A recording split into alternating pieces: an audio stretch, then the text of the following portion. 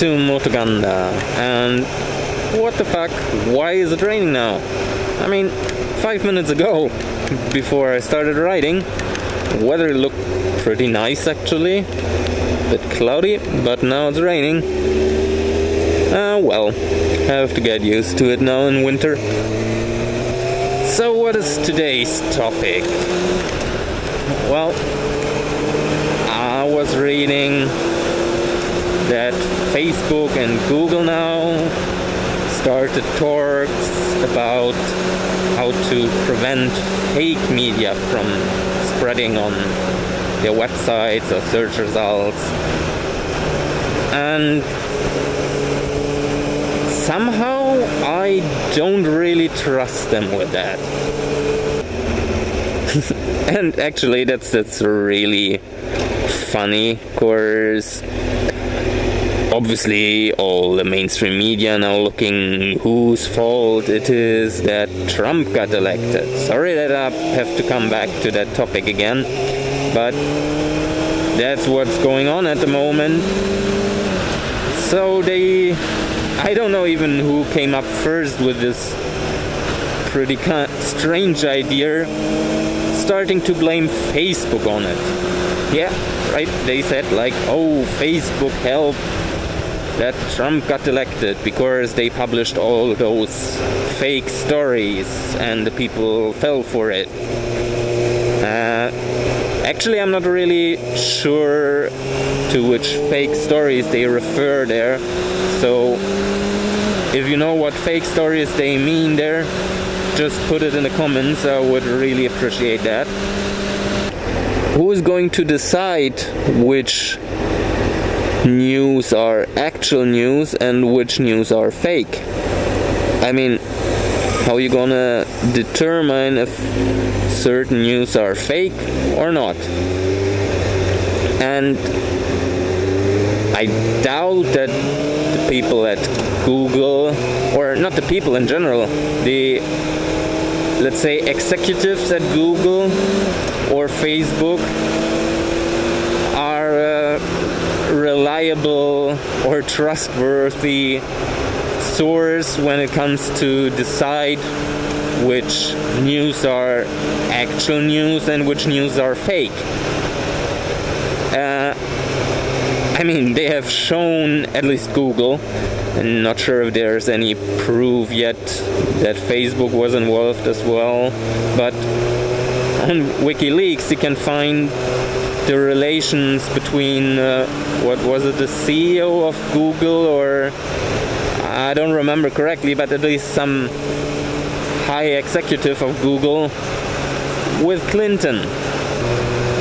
So if you have such links in between whatever party or corporation or anything it's pretty obvious you're not going to bring up neutral news or are you going to decide neutrally on which news are fake and which are not?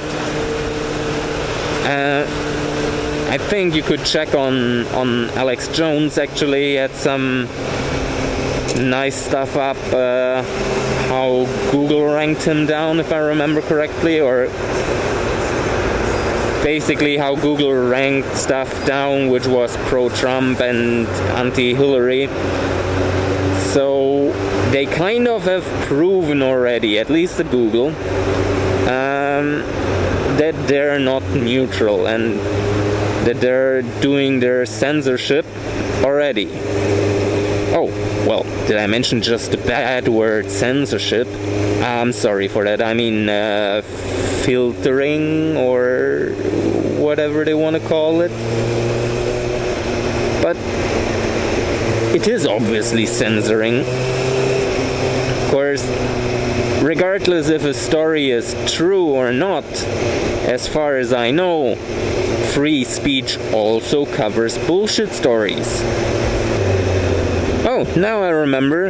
Even Facebook has shown already that they're not good or valid for such filtering Of course, do you remember all those uh, what all you could win? Those those winning promises which got spread all over Facebook. Like, yeah, you can win uh, the latest BMW, or you can win a PlayStation, or whatever. Just share it and like it, and click on over here, and then you will win those stuff was obviously fake. I mean, it couldn't have been more obvious fake.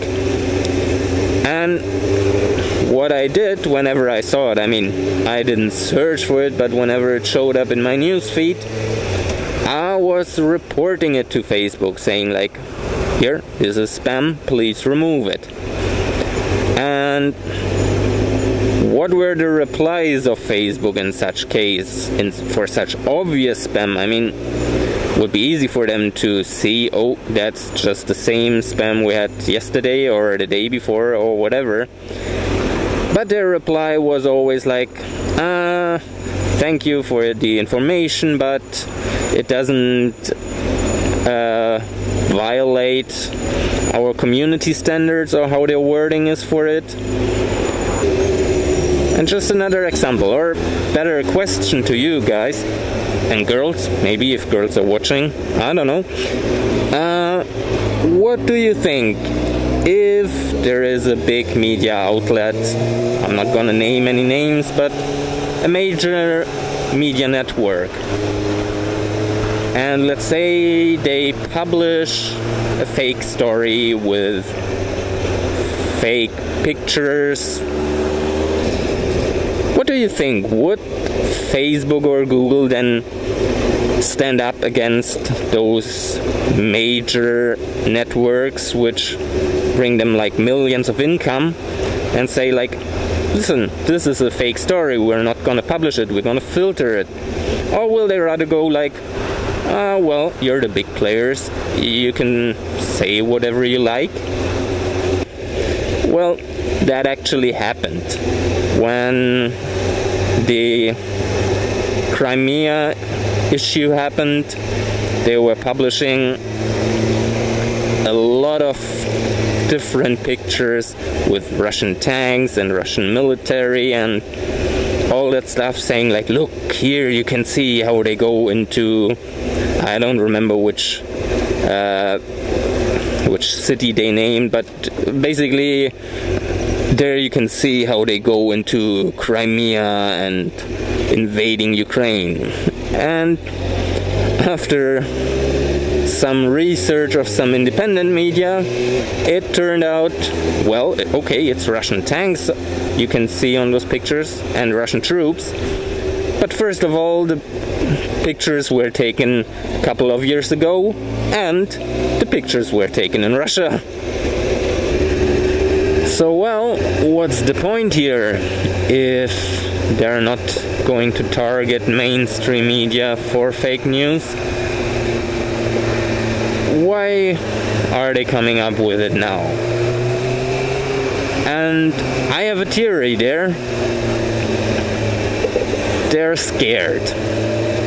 They're basically scared that alternative media continue to grow and to continue to gain influence. And that they now noticed with again I know I have to go again to that topic that they now noticed with the vote of Trump where all the mainstream media everyone I don't recall any mainstream media who was pro Trump so basically all mainstream media were against him. And well that normally works out because they make an opinion they don't publish an opinion they create it. That's a that's a big change.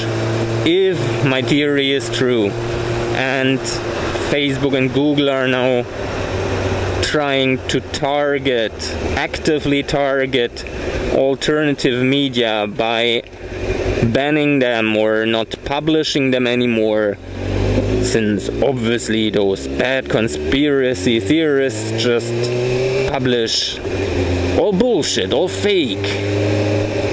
so we can easily ban them, of course. We just ban fake media. Then, in my opinion, that's an open threat not just on free speech, but that's an open threat to democracy at all. If everyone tells you 1 plus 1 is 3, if everyone, your teacher is telling you that, your your boss is telling you that, the media is telling you that, everyone tells you 1 plus 1 is 3. Don't be an idiot and think it's 2. No, it's 3. You will resist for a while, of course. But if that narrative continues, and even your friends then start telling you like, "Oh come on, ah, how how can you be so stupid still believing that one plus one is two? It's obviously scientifically now proven it's three."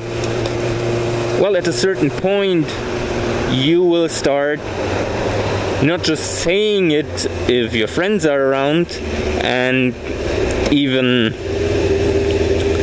yeah just to stay friends with them basically. No at a certain point you will even start believing it. And that's kind of a problem. And now they're noticing that strategy doesn't work anymore so apparently the only idea they come up with or the, on, the only idea they have so far is to obviously contain their power is to basically start banning different opinions. So wait a second. Where where do we know certain things like that from? I mean remember back in the times in Germany at the Third Reich they had exactly that. It was only allowed to say what suited them and exactly the same way we're heading at the moment. And if you now say like, okay, but people can still get their information from the internet. Yeah, okay, you have a point there, but keep in mind, in a lot of countries and a lot of areas, and to a lot of people, Facebook is the main is the internet basically, not just the main part of the internet. It is the internet for them. Unfortunately, it's that way, but if it's not on Facebook, it doesn't exist for certain people. And not just certain people, quite a lot of people actually. And another detour. What the fuck? Am I today at Detour City or what? Alright, at least this one was a pretty short detour. Back on the main road. So where we stopped? Ah, I am with Facebook, right. And it's actually even worse with Google. I mean, again, a question to everyone watching. Do you know any other search engine than Google? I mean, it made even its way already to the dictionary. I mean, nowadays, a legit verb for searching for something is Googling. It will always be people there which kind of keep linked lists or alternative search engines or anything. But for the majority, and obviously in a democratic society, the majority is what counts. In a majority, if you're not found on Google, you do not exist. So this issue actually has nothing but nothing to do as they claim with content filtering or keeping out fake news like okay there are really fake news which spread on Facebook like uh, I don't know uh, that certain celebrity died or some stupid stuff like that. Yes, this stuff exists and this stuff, yes, shares on Facebook a lot. But it is not about that. It is just basically about controlled media controlled knowledge for easier controlled minds. So, as I said in the beginning already, it is censorship. It is building up a new Third Reich, or call it Fourth Reich, or Facebook Reich, or whatever you would like to call it. But well, as long as you still find me on Facebook and Google, and obviously YouTube, which, by the way, just to mention it, belongs to Google as well and might be affected as well by this content filtering. As long as you still find me there, I will continue making videos like that. And even if you don't find me there, I will somehow stay in, in contact with you. So if you like this video, make sure to share it and give it a thumbs up so more people know about those issues. And if you have any other comments that, rather than the question I asked earlier already, you're very welcome to put anything down there in the comment section. And if you still didn't subscribe, Come on, as long as it's still possible, just hit the subscribe button and don't miss any further update. And I see you in the next video.